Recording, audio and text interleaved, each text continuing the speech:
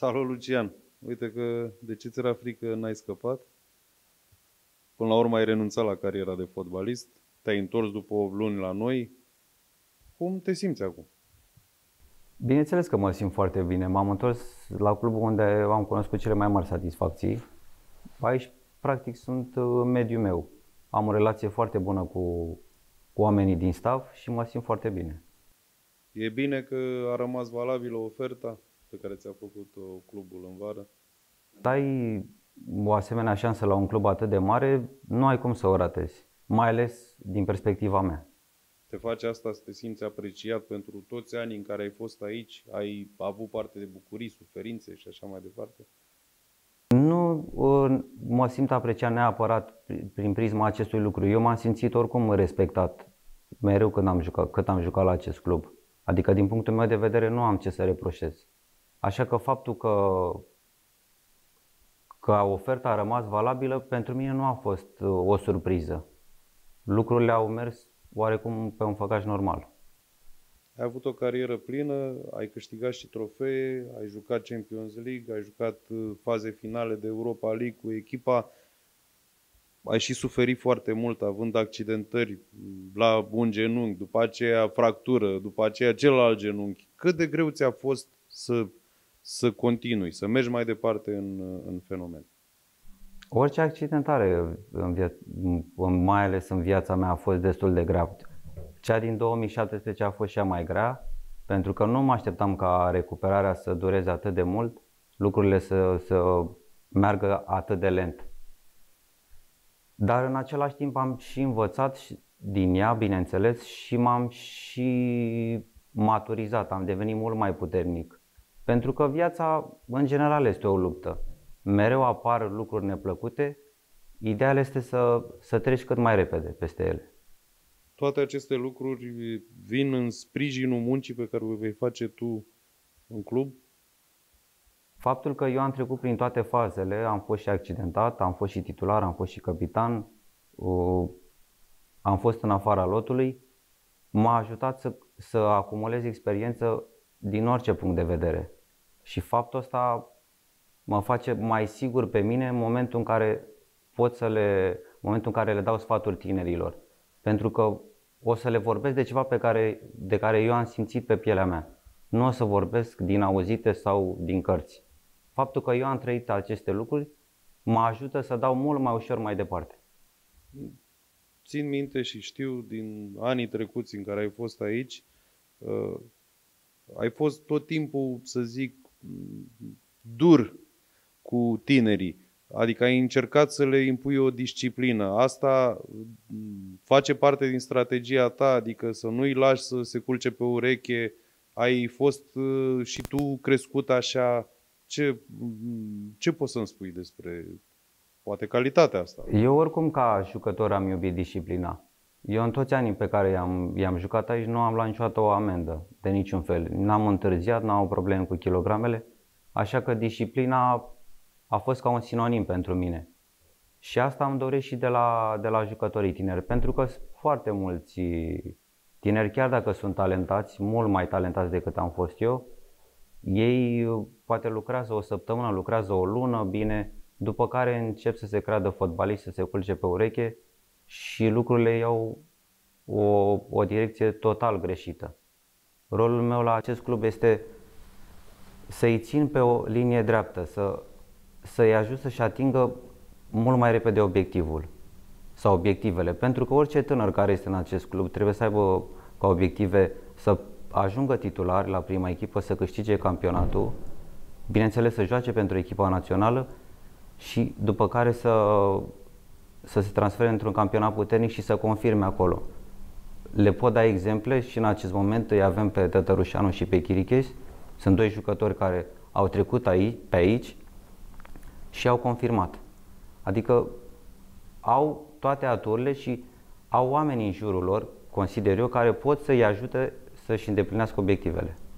Consider că asta a contat foarte mult uh, de-a lungul timpului. Poate uh, uneori reticența clubului nostru în relația cu media, așa o consideră ei, sau uh, se transmite ideea că suntem un club închis, unde poate oamenii nu vor să facă anumite lucruri. Tu cum ai privit clubul nostru la nivel de organizare? Cât de mult crezi că uh, ajută și cât de bine este organizat clubul nostru? Pentru a-l ajuta pe un fotbalist să-și atingă potențialul maxim. În momentul de față, la acest club sunt toate condițiile pentru a face performanță. Aici mă refer la partea de alimentație, la partea de sală, avem foarte multe aparate, terenurile sunt foarte bune, uh, avem oameni în staff suficienți pentru a-i ajuta în funcție de ce problemă are. Aici mă includ și pe mine. Dar în jurul unui fotbalist sunt foarte mulți factori și aici mă refer la relația cu părinții, pentru că mereu există un conflict de generații. Părinții spun ceva, copiii spun altceva. Uh, poate relația cu iubita, relația cu prietenii, relația cu presa, relația cu antrenorul. Am auzit foarte multe discuții de la jucători că nu mă place antrenorul sau nu mă bagă. Uh, rela- uh, relația cu presa unde ei poate după un meci se așteaptă să fie lăudați și în presă scrie cu totul și cu totul altceva. Sunt mulți factori care adunați poate să le dăuneze. De asta spun că e foarte, e, fotbalul e un sport mult mai complex. Nu intri pe teren și alegi după o minge. Trebuie să, să știi să îți îmbunătățești, în primul rând, partea fizică, în funcție de ce probleme ai, partea tehnică, ce îți lipsește, piciorul drept, piciorul stâng, lovitura de cap și așa mai departe. Deci e ca o carte, dacă aș putea spune, care conține foarte, foarte multe lucruri care te pot ajuta să faci performanță. În momentul în care toate ți le îmbunătățești pe care le-am enumerat, adică le pui la punct, 100% randamentul tău va fi mult mai bun. Deci asta ei spune tu lui Lucian Filip, venit de la Craiova, de la școala Gică Popescu, junior, dacă te-ai întoarce în timp, uite copile, trebuie să faci lucrurile astea, să te preocupi de dezvoltarea ta personală pe lângă ceea ce exact. oferă echipa. Pentru că noi ca nație sau cultura noastră nu ne ajută să, să fim aproape de fotbalul modern. Noi nu știm ce înseamnă să lucrezi suplimentar. Noi nu știm că, sau nu știam înainte, că după meci trebuie să-ți bei proteinele, nu să mănânci pizza sau să bei o bere.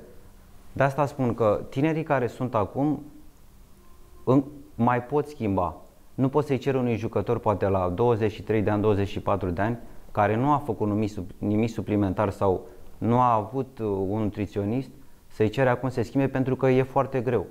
Trebuie să, e foarte greu ca într-o săptămână sau câteva zile să stergi cu buretele anii pe care el i-a făcut greșit. De asta spun că uh, trebuie să, sau vreau să pun accent pe, pe tineri pentru a le induce această cultură de cât mai devreme, 14 ani, 15 ani, 12 ani. Cu cât uh, le inducem această cultură, cu atât o să le fie mai ușor că nu o să ajungă la seniori. Și presupun că vrei să le mai insufli și starea asta de spirit legată de clubul nostru, fiindcă e un aspect foarte important. Tu știi ce înseamnă acest club, cât de puternic e și cât de mult uh, îți afectează viața, din toate punctele de vedere. Exact orice lucru pe care îl faci, ideal e să-l faci cu inima. Momentul în care tu intri uh, în teren și poate te gândești să dai gol sau să pui o poză pe Instagram, uh, randamentul tău sigur e, e mult mai slab decât uh, momentul în care intri și îți dorești cu adevărat din tot sufletul să faci ceva atât pentru tine cât și pentru echipă și bineînțeles și pentru suporteri. Fotbalul fără spirit este sec, dar mă bucur în același timp că nu sunt doar eu. În, nu sunt doar eu în, în staff, îl avem și pe Pintili, care a fost un jucător uh, emble, uh, emblematic, un jucător care a adus greu la această echipă, îl avem și pe Ovidiu Petre și practic ei și ei fac parte din spiritul echipei, chiar dacă nu sunt în teren. Ai impresia că în ultima perioadă, și nu neapărat doar la echipa noastră, uh, continuând discuția pe tema asta, și-au pierdut fotbaliștii dragostea pentru acest sport? Adică ei îl privesc poate doar ca pe un job oarecare?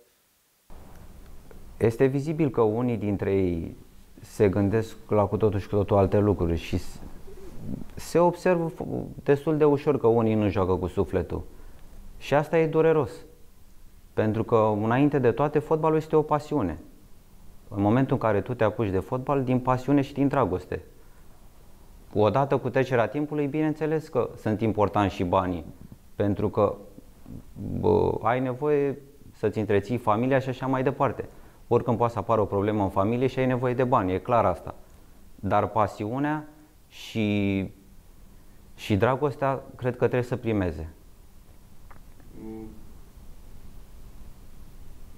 Tocmai ce te-ai lăsat de fotbal, ai trăit momente minunate în culorile, în tricoul roș-albastru, ai avut și momente de tristețe. Poți să-mi spui niște, mergând înapoi în timp, niște momente definitorii pentru cariera ta? Păi, aș vrea să vorbesc în primul rând de cele două meciuri cu care eu mă mândresc. Aici mă refer la calificarea cu Ajax și bineînțeles calificarea în grupele UEFA Champions League. Aici mă refer la momentele plăcute. Iar cel mai greu moment a fost uh, în 2017 când uh, am avut uh, trei operații la genunchi și lucrurile mergeau destul de greu. Pot spune că atunci mă gândeam că nu, nu mai pot juca fotbal. Cum ai trecut peste acea perioadă? Cine te-a ajutat? Ce ai făcut mai precis? Păi, în primul rând, m-am operat de două ori în România. Lucrurile nu mergeau cum ne așteptam. Am hotărât împreună cu staful medical să merg în Italia, la Roma. Am discutat cu doctorul de acolo.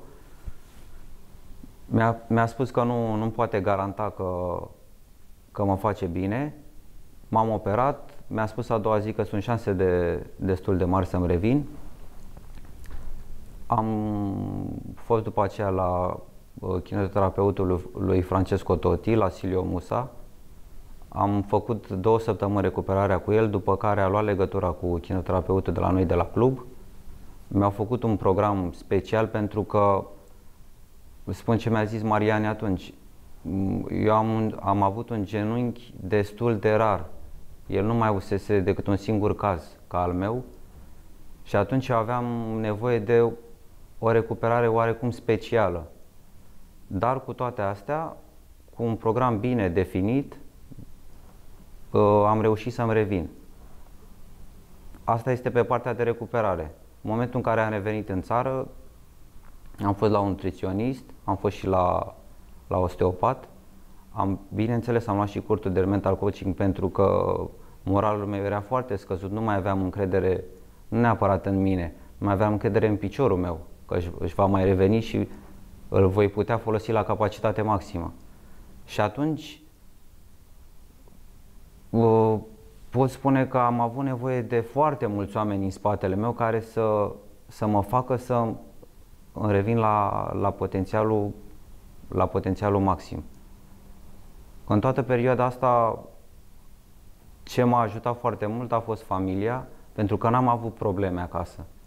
Eu am avut mereu liniște acasă, am avut o relație bună și cu părinții și cu soția și pot spune că a fost ca un generator pentru mine.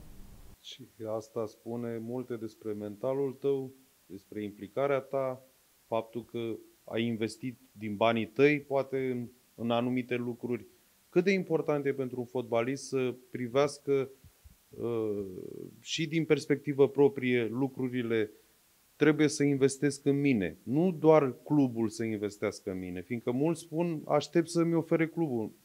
Nu e oare important să te pregătești pentru viitorul tău? Normal nu să joci fotbal toată viața. În, în prima fază, în prima fază ideal, ideal este să investești în tine.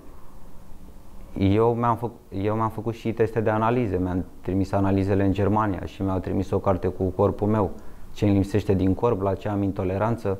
Deci, un jucător profesionist consider că asta trebuie să facă, mai ales care vrea să joace la un nivel înalt și care are posibilitatea să facă aceste lucruri. Pentru că jucătorii de la Steaua pot face aceste lucruri, dar unii, unul din Liga a doua, poate care nu a primit salariul de 3 luni, e normal să aibă alte preocupări. Dar la ce, la ce cerințe sunt aici sau ce potențial are fiecare sau ce obiective, cred că aceste lucruri mi se par normale în momentul ăsta. Dar poate că și eu când am fost, și eu când am fost tânăr nu mă gândeam la, la aceste aspecte. De asta sunt și pus aici.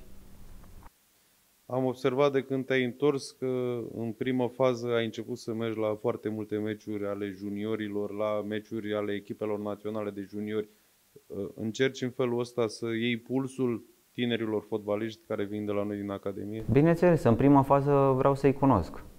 Pentru că fiecare jucător sau tânăr provine din fa- din, dintr-o familie diferită. Unul are educație mai bună, unul mai puțin bună sau la fel, cu situația, la fel și cu situația financiară.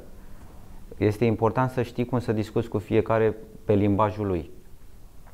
Acum vreau să-i cunosc și bineînțeles mulți dintre ei vor intra într-un program individual de, de pregătire fizică, la fel și de nutriție și bineînțeles și de odihnă, pentru că în zilele noastre tinerii petrec foarte mult timp, cred că știm cu toții, în fața, în fața televizorului, în fața telefonului, a laptopului. Se joacă poate 3-4 ore seara și dimineața au antrenamente. E clar că ei nu se pot odihni la fel de bine și randamentul lor va scădea.